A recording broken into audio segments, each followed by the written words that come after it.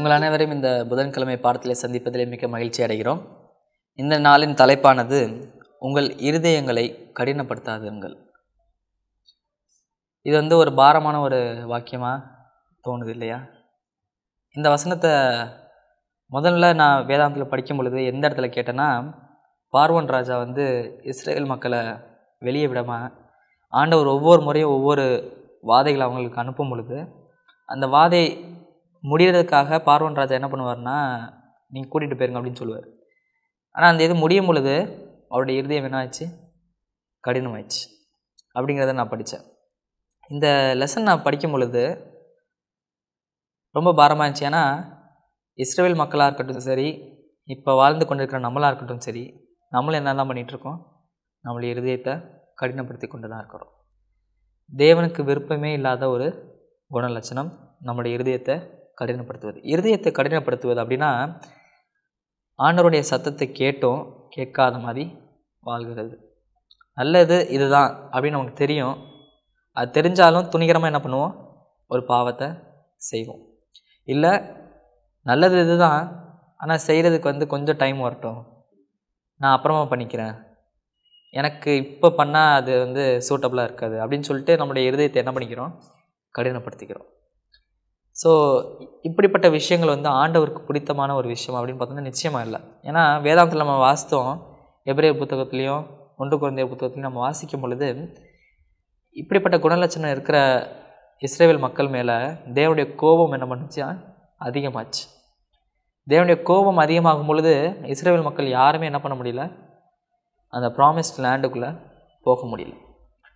அப்போது இந்த காலத்தில் வாழ்ந்து கொண்டிருக்கிற நம்ம எல்லாருக்குமே அது வந்து ஒரு எச்சரிப்பின் இதுவாக கண்டிப்பாக அமையும். இந்த நாளின் பாடத்தை அந்த ஒரு கண்ணோட்டத்தோட நம்ம வந்து படிக்க ஆரம்பிப்போம். ரெண்டு வசனத்தை வந்து இங்கே கம்பேர் பண்ணி ஒரு கொஸ்டினோட இந்த லெசன் நம்ம வந்து ஆரம்பிக்க போகிறோம் ஒன்று வந்து எப்ரேயர் புத்தகத்தில் இருக்குது இன்னொன்று வந்து சங்கீதத்தில் இருக்குது எப்ரேயர் நான்காவது அதிகாரம் வசனங்கள் நாலுலேருந்து ஏழில் ஒரு விஷயத்தை கொடுத்துருக்காங்க. அதே மாதிரி சங்கீதம் தொண்ணூத்தைந்தாவது அதிகாரத்தில் வசனங்கள் எட்டுலேருந்து பதினொன்றுலேயும் ஒரு விஷயத்தை கொடுத்துருக்காங்க. அந்த வசனங்களில் நமக்கு என்ன ஒரு எச்சரிப்பின் தூது அடங்கியிருக்கு அப்படிங்கிறத நீங்கள் இந்த பாடத்தில் சொல்லுங்கள் நம்மளுக்கு நம்மளுடைய இருதயங்கள் கனி கடினப்படுகிற அனுபவம். நிறையா இருக்குது அந்த காலத்துலேயும் நிறைய இருந்துச்சு. இதை எப்படியே நாலாவது அதிகாரத்தை நாம் தொடர்ந்து படிக்க போகிறோம். நேற்று தினத்திலே மூணாவது வசனம் வரைக்கும் படித்தோம் இன்றைக்கி நாலுலேருந்து ஏழாவது வசனம் வரைக்கும் படிக்க போகிறோம்.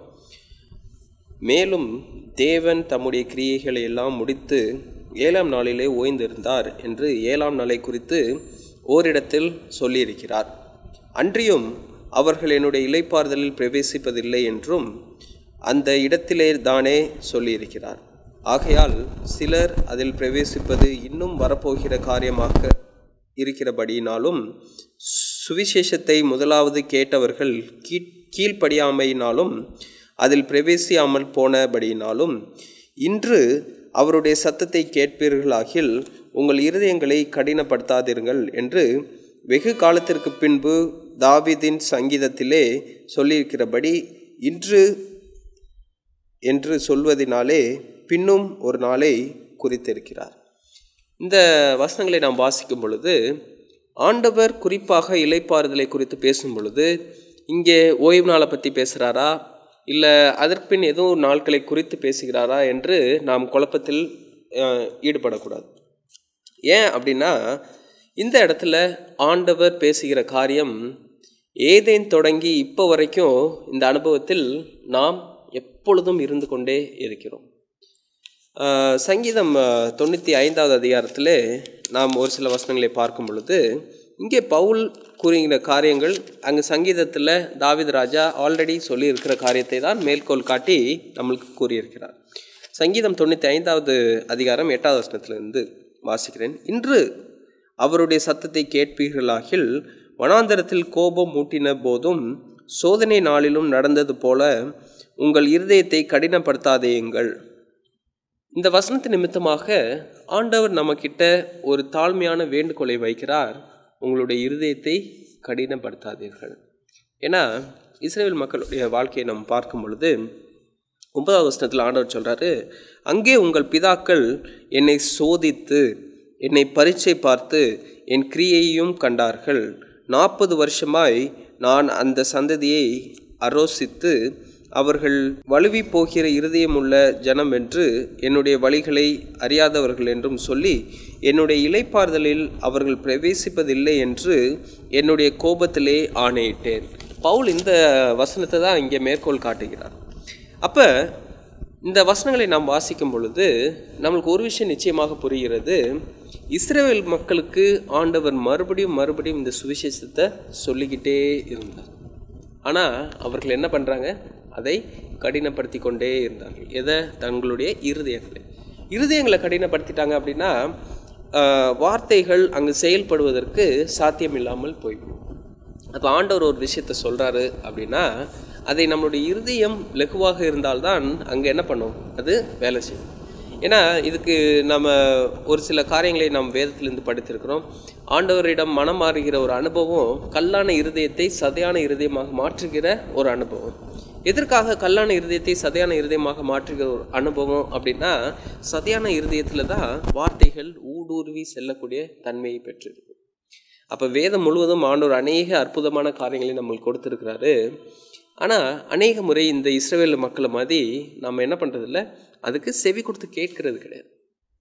அதனால தான் ஆண்டவர் ஏழாவது வசனத்தில் ரொம்ப குறிப்பாக சொல்கிறார் இன்று இது ஒரு எச்சரிப்பு நம்மளுக்கு இன்று இன்று அப்படிங்கிற வார்த்தையை அங்கே பயன்படுத்தி இருக்கிறாங்க இன்று அப்படிங்கும் பொழுது நாளைக்கா இல்லை அப்புறம் ஒரு பத்து வருஷம் கழிச்சு அப்படின்னு நம்ம யோசிக்கக்கூடாது இன்று என்றால் இன்றைய தினமே இந்த நொடி பொழுதே ஆண் அவருடைய சத்தத்தை கேட்பீர்களாகில் ஆண்டவருடைய சத்தம் உங்களுக்கு இந்த நொடியில் இப்பொழுது வருகிறது என்றால் அதை கேட்கணும்.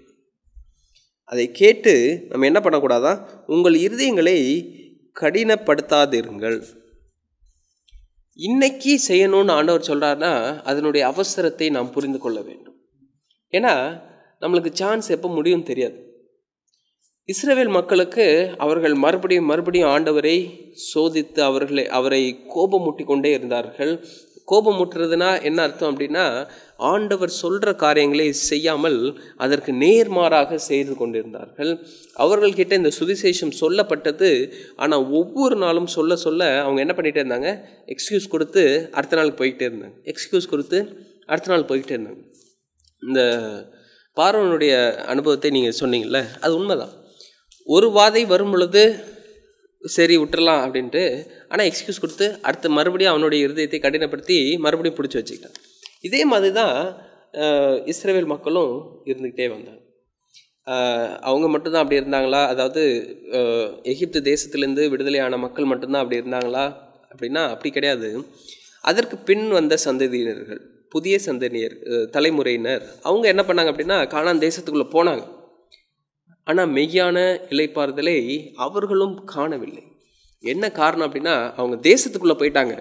இந்த உலக பிரகாரமான ஆசிர்வாதத்தை பெற்றுக்கொண்டார்கள் இருந்தாலும் ஆண்டவர் சொன்ன சுவிசேஷத்தை அவர்கள் கேட்கவில்லை. தேசத்துக்குள்ளே போகிறது வந்து ஒரு முடிவு கிடையாது. இங்கே உலகத்தில் உள்ள ஆசீர்வாதங்களை பெற்றுக்கொள்வது நம்மளுடைய வாழ்க்கையின் முடிவு கிடையாது. அதையும் தாண்டி நாம் செல்லாமல் இருக்கிற ஒரு அனுபவம் எப்போ வரும் அப்படின்னா ஆண்டவர் சொல்கிற காரியத்துக்கு நம் செவி கொடாமல் நம்மளுடைய இருதயத்தை கடினப்படுத்தும் பொழுது. அப்போ ஆண்டவர் சொல்கிற காரியங்கள் ரொம்ப முக்கியமான காரியங்கள். அது நம்மளுடைய வாழ்க்கைக்கு நம்மளை நித்திய பரம காணானுக்கு அழைத்து செல்லக்கூடிய ஆலோசனைகள். அதை நம்ம கேட்குறக்கு இருதயத்தை கடினப்படுத்திக்கிட்டே இருந்தோம் அப்படின்னா என்ன எச்சரிப்பு நம்மளுக்கு வருது அப்படின்னா ஆண்டவர் என்ன பண்ணுவாரா? ஒரு கட்டத்தில் அவங்க இங்கே வர்றதுக்கு லாய்க்கு இல்லை. அப்படின்ற அந்த ப்ரொபேஷன் பீரியடை க்ளோஸ் பண்ணிட்டாருன்னு வச்சுக்கோ. அப்போ நம்ம என்ன பண்ணாலும் சரி நம்மளால் என்ன பண்ண முடியாது? அந்த தேசத்துக்குள் பிரவேசிக்கவே முடியாது. இன்றைக்கி நம்மளுக்கு சுவிசேஷம் வருது அப்படின்னா அந்த சுவிசேஷத்தை கேட்டு அதை நாம் நம்மளுடைய இருதயத்தை கடினமாக வைத்து அதை எதிர்த்து தழுகிற பிள்ளைகளாக இல்லாமல் நம்மளுடைய இருதயத்தை என்ன பண்ணணுமா? லகுவாக வைத்து அந்த சுவிசேஷத்தை ஏற்றுக்கொள்கிற பிள்ளைகளாக. நம்மளுக்கு ஆல்ரெடி ஒரு எக்ஸாம்பிள் சாலிடாக பைபிளில் கொடுக்கப்பட்டிருக்கு. இஸ்ரேல் மக்கள் என்ன பண்ணாங்க? அவர்களுடைய இருதயத்தை கடினப்படுத்தினார்கள். அதன் விளைவாக ஆண்டவர் என்ன பண்ணிட்டாரு? அவர்களுடைய கோபத்தின் கோபத்தை மூட்டிக்கிட்டே இருந்தாங்க. ஆண்டவர் ஒரு ஒரு பாயிண்டில் என்ன பண்ணிட்டு செக் வச்சுட்டார். இதுக்கு மேலே நீங்கள் போக முடியாது. தட் இஸ் ஆல் இன்றைக்கி நம்மளுடைய வாழ்க்கையிலும் ஆண்டவர் என்ன பண்ணுவார்? நம்ம ஆண்டவரை கோபமூட்டி கொண்டு அதாவது ஆண்டவர் சொல்கிற காரியங்களுக்கு நேர் எதிர்மறையாக செய்து கொண்டு நம்மக்கிட்ட அந்த சுவிசேஷம் வரும் பொழுது அதை ஏற்றுக்கொள்ளாமல் கடினமாக நம்முடைய இருதயத்தை வைத்துக்கொள்ளும் பொழுது ஒரு பாயிண்டில் ஆண்டவர் அந்த ப்ரொபேஷனை க்ளோஸ் பண்ணும் பொழுது நம்மளால் என்ன பண்ண முடியாது? அடுத்து தாண்டி அந்த பரம காணானுக்குள் பிரவேசிக்க முடியாமல் போய்விடும். அது எவ்வளோ பெரிய வருத்தமான செயல் தெரியுமா? நம்ம சின்ன சின்ன விஷயங்களை படிக்கும் பொழுது அதிலிருந்து நம்மளுக்கு எச்சரிப்பு கிடைக்கும் பொழுது அதை நாம் பிடித்து கொள்ள வேண்டும். அந்த எச்சரிப்பை நாம் கவனமாக சிந்தித்து அடுத்த முறை நம்ம என்ன பண்ணிடக்கூடாது? அதே குழியில் என்ன பண்ணிடக்கூடாது? விழுந்துடக்கூடாது என்பதில் நாம் ஜாக்கிரதையாக இருக்க வேண்டும்.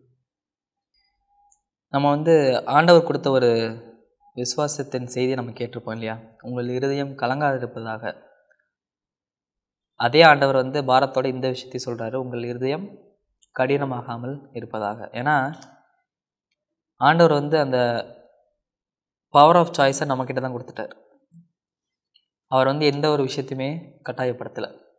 அப்போ தேர்ந்தெடுக்கக்கூடிய ஒரு உரிமை நம்மக்கிட்ட தான் இருக்குது நம்முடைய இருதயத்தை ஆண்டவருடைய வார்த்தைக்கு லகுவாக வைத்துக்கொள்ள போகிறோமா இல்லை நம்மளுக்கு பிடித்த மாதிரி நம்முடைய வாழ்க்கையை தொடர்ந்து போயிட்டே இருந்தோம்னா நம்மளுடைய இருதயம் கல்லான ஒரு இருதயமாக தான் இருக்கும். அப்படிங்கிறத நம்ம வந்து மறந்து விடக்கூடாது அதுலேயும் முக்கியமாக இன்று இன்னைக்கு இப்போ அப்படிங்கிற ஒரு விஷயத்த ஆண்டவர் நமக்கு சொல்லித்தராருன்னா இன்னொரு வாய்ப்பு கிடைக்காம கூட போய்விடலாம்.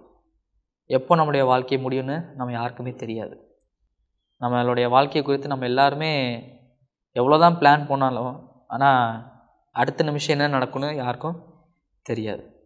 அப்படி இருக்கும் பொழுது இந்த எச்சரி எச்சரிப்பின் தூதானது அந்த நொடி பொழுதில் நம்மளுடைய மனசில் ஒரு கிரியை செய்யும்.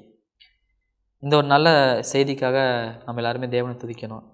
நம்முடைய இருதயம் வந்து கலங்காமல் இருப்பது அது ஒரு பக்கம்.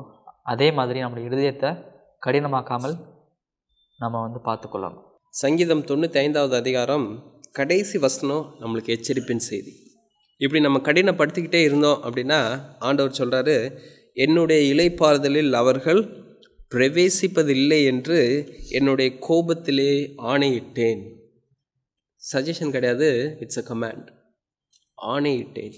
அப்போ ஆண்டவர் அப்படி சொல்லிட்டார் அப்படின்னா மெய்யான இலைப்பாறுதலை நாம் பெற முடியாமல் போய்விடும். அப்படிப்பட்ட ஒரு நிலைமைக்குள்ளாக நம்ம போய்விடக்கூடாது. எனவே தேவனுடைய வார்த்தைக்கு நம்ம செவி கொடுத்து அவருக்கு பிரியமான ஒரு வாழ்க்கையை நம்ம வாழ்ந்தோன்னா கண்டிப்பாக நம்மளாலேயும் அந்த பரம காணான்குள்ளே பிரவேசித்து ஆண்டவருடைய இலைப்பாறுதலை நம்மளால் பெற்றுக்கொள்ள முடியும். ஒரு ஜெபத்தின் வாயிலாக இந்த நாளின் செய்தியை நாம் நிறைவுக்குள்ளாக கொண்டு வருவோம். எங்களுக்கு பிரியமான எங்களுடைய அன்பு இயேசப்பா இந்த நாளின் செய்திக்காக உமக்கு கொடான கொடி நன்றியப்பா. எங்களுடைய இருதயத்தை நாங்கள் கடினப்படுத்தாதபடிக்கு உங்களுடைய வார்த்தையை கேட்கிற பிள்ளைகளாக மாற்றம் இல்லாமல் அதை எங்களுடைய வாழ்க்கையில் அபியாசித்து எங்களுடைய இருதயத்தில் அதை கணித்தர வழிவகுக்கக்கூடிய ஒரு பிள்ளைகளாக நாங்கள் வாழ வளர கிருபை செய்யப்பா நாங்கள் கேட்குற ஒவ்வொரு பாடத்தையும் நாங்கள் எங்களுடைய வாழ்க்கையில் கொஞ்சம் சிந்திச்சு பார்த்து நாங்கள் எந்த கட்டத்தில் இருக்கோம் எந்த மாதிரியான ஒரு வாழ்க்கையை நாங்கள் வாழ்ந்துட்டுருக்குறோம் அப்படிங்கிற ஒரு சின்ன ஒரு யோசனையை எங்கள் வாழ்க்கையில் கொடுத்துருங்கப்பா. நாங்கள் ஒவ்வொரு காரியத்தை செய்யும் பொழுதும் அது உங்களுக்கு பிரியமான ஒரு விஷயமா? இல்லையா? அப்படிங்கிறத நாங்கள் கொஞ்சம் அலசி ஆராய்ந்து வாழ்கிற பிள்ளைகளாக இருக்க கிருபை எந்த ஒரு விஷயத்தை நாங்கள் செய்தாலும் உங்களுக்கு பிரியமான முறையில் நாங்கள் செய்ய கிருபி செய்யுங்க எங்களுக்கு கிடைக்கக்கூடிய ஒவ்வொரு எச்சரிப்பின் தூதும் இன்றே நாங்கள் அதுக்குரிய தீர்மானத்தை எடுக்க நீங்கள் கிருபை நாங்கள் செய்த பாவங்கள் குற்றங்கள் குறைகள் எல்லாவற்றையும் தயவாக மன்னித்து போட்டுள்ளோம் இயேசுவின் மூலம் ஜபிக்கிறோம் ஜமக்கிலும் ஜீவனம் நல்ல பிதாவே.